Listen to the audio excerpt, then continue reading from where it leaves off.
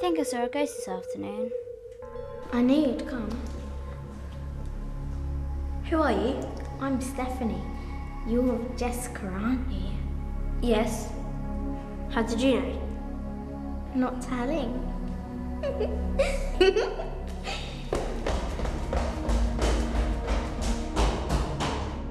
Wait, come back.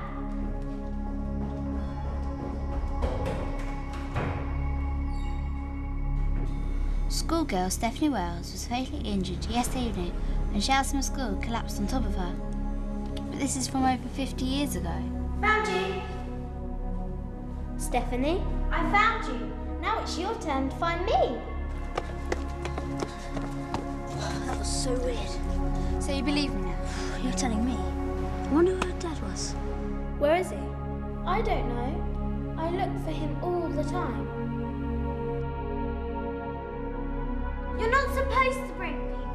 It's against the rules. You're spoiling the game. She's still playing the game.